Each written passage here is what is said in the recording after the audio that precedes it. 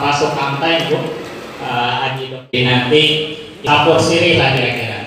Jadi sudah disampaikan, pejabat itu harus terbiasa dikritik. Kan waktu mereka juga di luar kan biasa mengkritik. Masa sekarang ketika di dalam dikritik kok jadi tipis terima? Terima. Ya, seorang pejabat itu adalah untuk di satu sisi diikuti kebijakannya yang baik, tapi juga untuk dikritik kalau ada sesuatu yang tidak baik. Jadi biasa-biasa saja, jangan ada tuduhan yang downgrade, macam-macam. Saya yakin Pak Prabowo tidak demikian, juru bicara saja. Saya bicara dengan Pak Prabowo nggak ada masalah. Beliau silakan saya dikritik nggak ada masalah. Ya, domainnya juga Pak.